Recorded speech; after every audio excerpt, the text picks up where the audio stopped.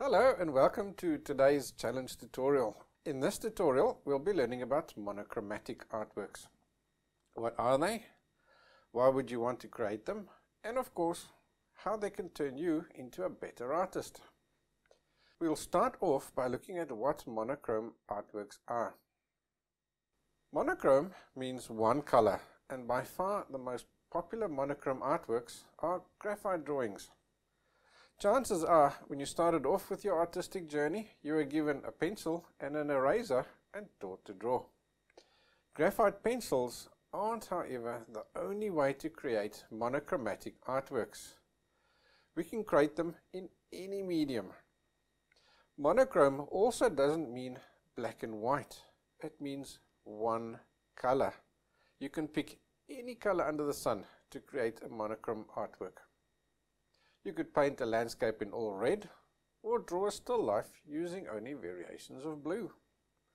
So you can just pick a color and off you go, right? Well, yes and no.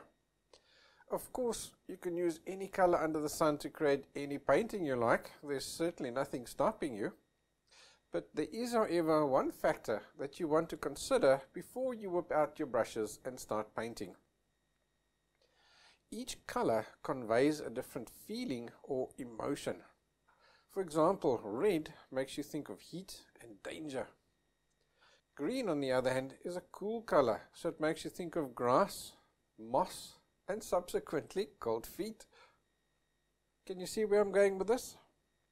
If you want a nice peaceful artwork for your bedroom, red is probably not the color to go for you need to consider what emotional effect the final artwork will have on the viewer.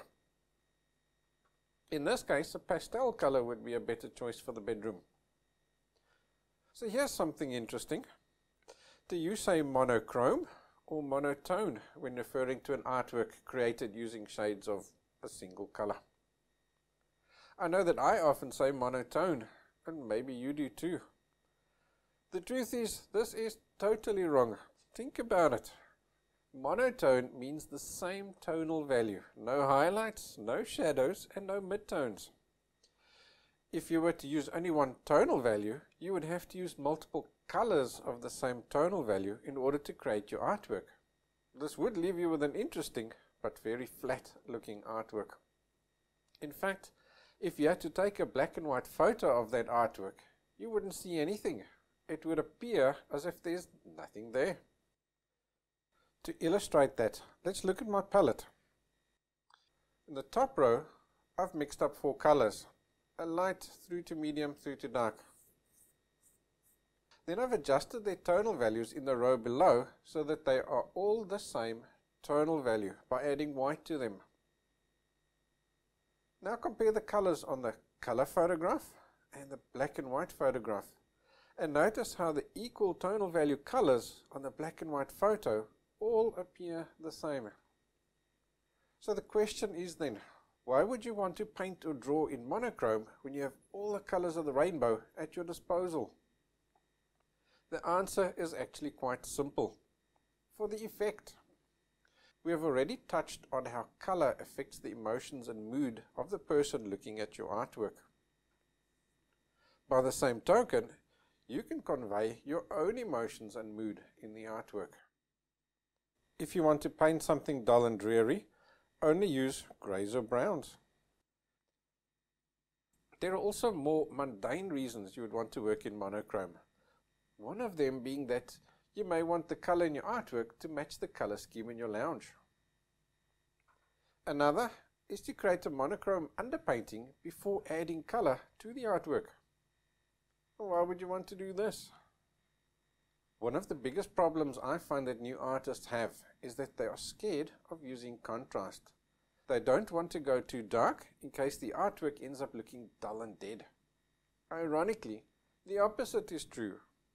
You need dark shadows in your artwork to make your highlights appear bright. Working in monochrome forces you to ignore the color and to look at the underlying tonal values the minute you do this, it becomes obvious that you need good contrasts, otherwise the artwork looks flat. The most common method of doing a monochrome underpainting is the classic grisaille layer used by the old masters. With this method, the entire scene is painted using only shades of neutral grey. Once dry, the color is then added using transparent glazes. A different method is called Verdaccio. Here, yellow is added to the grey in order to get a greenish monochrome underpainting. This technique is very popular with portrait artists. Landscape artists often like to use burnt sienna to create a quick monochrome underpainting or sketch of the scene before moving over to painting it in color. The advantage of working monochrome is that you are removing the whole color aspect from the artwork. This not only gives a nice effect when the artwork is hanging on the wall, it also makes it so much easier for the beginner to master a medium. They are less overwhelmed when having to concentrate on the tonal values only. Then once they have a good grasp on the tonal values, adding color is so much easier. And this is why most art tutors will start you off with pencil drawing before progressing you to painting. Now let's see what we can do to make our monochrome artworks stand out even more. One way of creating drama in your monochrome artworks is to add a spot of additional color to the focal point. Doing this cements the viewer's eye on the focal point. A popular way of doing this is to create the whole artwork in grayscale and then add color to the focal point. When not working in grayscale, you could also use the opposite color in the focal area. This will make the focal area pop and appear very vibrant. You could also use a harmonious color to not break the emotional effect of the artwork and give you more of a calming feel. When doing the actual painting of a monochrome artwork. I like to mix up five versions of the chosen color. I start by mixing the base color, the color I want the overall artwork to have. Then I mix a highlight and shadow version of that color using standard color mixing rules. These colors are then placed on the palette spread apart like this. Adjacent colors can then be mixed to create the midtones. This gives me a good variety of tonal values to choose from when painting. I will then block in these colors on the canvas at the places where their tonal values correspond. To merge adjacent colors together, I look to see how they meet. Do they meet in a sharp edge? Do they blend smoothly together or form a texture?